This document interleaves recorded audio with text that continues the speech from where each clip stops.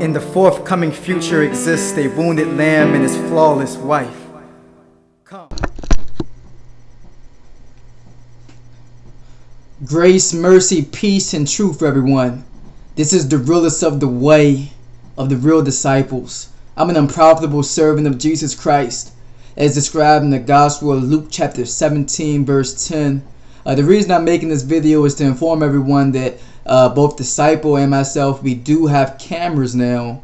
And I also want to thank everyone for your prayers, your words of your of encouragement, uh, your phone calls, and simply your fellowship.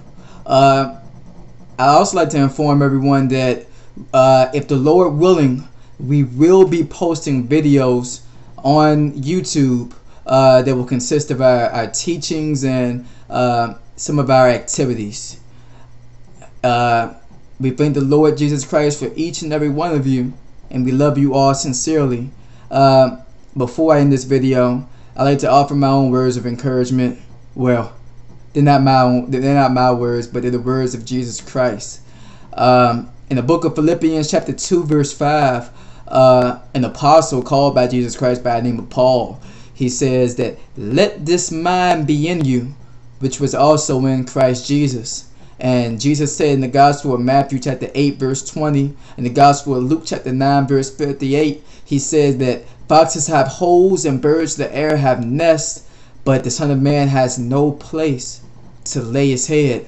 Uh, there are many individuals, uh, many professing Christians who um, embody the characteristics depicted in the book of Titus chapter 1 verse 16. It says, uh, they profess to know God, but through their works they deny him, being abominable and disobedient, and into every good work reprobate.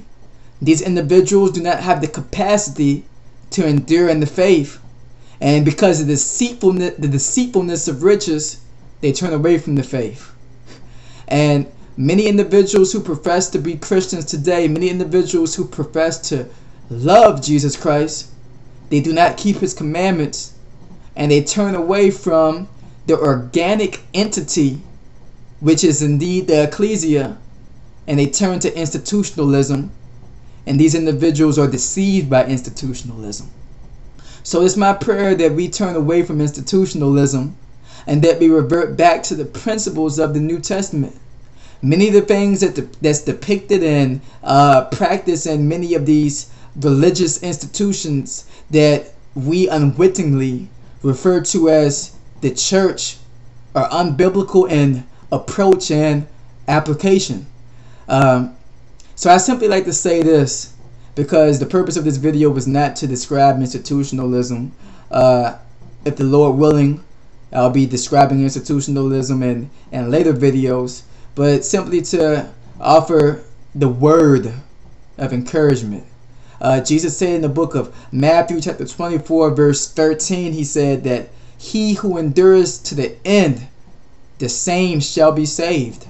In the Gospel of Matthew, chapter 10, verse 22, it says that, And you shall be hated by all men for my name's sake, but he that endures to the end, the same shall be saved.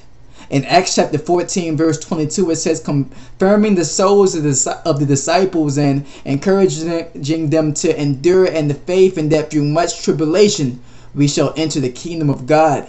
In 2 Timothy chapter 3, verse 12, it says that all who will live godly after Christ Jesus shall suffer persecution.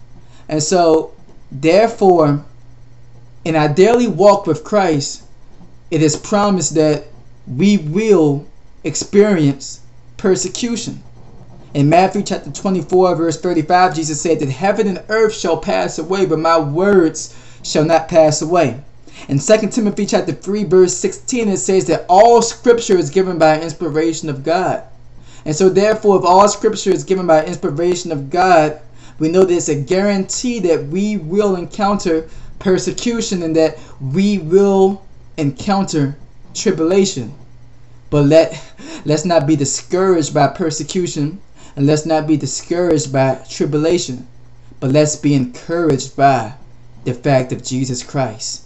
Let's make Jesus Christ an objective reality in our lives, daily, individually, and collectively. Before we came to Christ, we were solely individuals. But now that we're born again, we've been born into an individual. As depicted in 1 Corinthians chapter 12, verse 12. And that's the body of the Messiah. And Jesus Christ, He's the head. So therefore, let's be dependent on the head. And also, let's do as described in Hebrews chapter 10, verse 24. Provoke one another to love and to good works. Grace and peace, everyone. I love each and every one of you. And continue to endure to the end. Exists a and let your light shine before men, so come. they may be convicted. Whoever wishes and also come to the, the free gift of the water Jesus of life.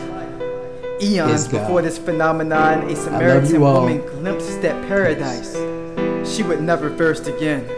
Yet her provider had an unfulfilled appetite. Listen to his captivating yearnings as he longs for a counterpart. Melodic and wondrous, poetically harmonious without ending or start. I saw the holy city, the new Jerusalem coming down out of heaven. The Spirit carried me away.